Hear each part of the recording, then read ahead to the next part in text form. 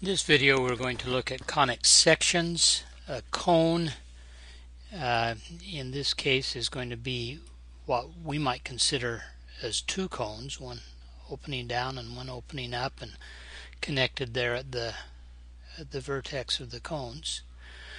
A uh, section is what you get when you intersect a plane with uh, any three-dimensional object. So a conic section is the intersection of a plane with a cone. And you'll notice that when this plane is perpendicular to the axis of rotation, that we're getting circles. The circles get bigger as we move up above the vertex. When we get right to the vertex, then we really just get a point. As we move below that, then the circles start to get larger again. Okay. If we rotate this thing, let's see if I can figure out how to rotate it.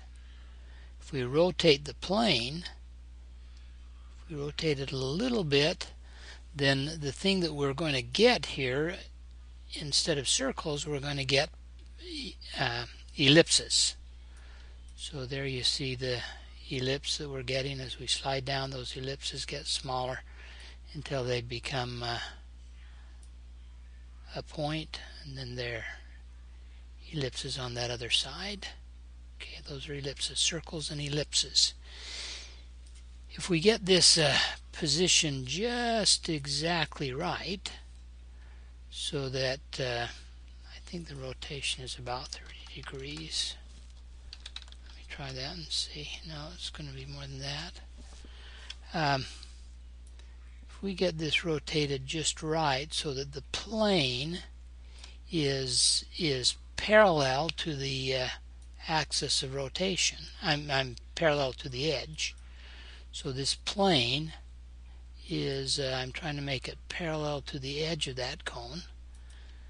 Then uh, we're getting something that's uh, a parabola. Slide that around so you can kind of see it. There's the intersection ends up being a parabola. So we, oops, I didn't get it tilted quite far enough. so I really wasn't getting parabolas. Sorry, you guys. Uh,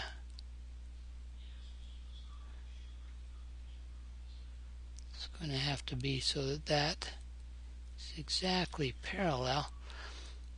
Let me slide this down just a little bit so that I'm right at the vertex. Then we can kind of get it parallel if I can get that as close to being at the vertex as possible, then uh, I want to get this rotated just right so that this just barely touches that edge. Okay, at that point we're going to get a straight line. Okay, the straight line comes from touching that top part of the cone and then coming down and touching the bottom part of the cone. Now if that straight line gets slid away, then we start getting these parabolas. Okay, do you see the parabola there? So we pull it out, there's parabola all along there. Come along, then uh, an opening down parabola down there at the the bottom cone.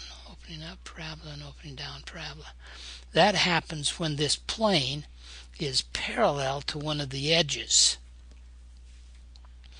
If we uh, rotate a little bit more so that we're cutting through both edges, let me reposition here so you can see this maybe a little better. Then we get a hyperbola. That, uh, oops, the other polar. At one point, when we get right there, then the intersection should be two straight lines. Straight line coming down this way and a straight line coming down this way. We slide off from that vertex at all and we get two parabolas. Uh, um, two parabolas. We get a hyperbola, which is two uh, two U-shaped things. Okay, so we got straight lines, we got points, we've got uh, circles, we've got ellipses, and we've got hyperbolas. That's it.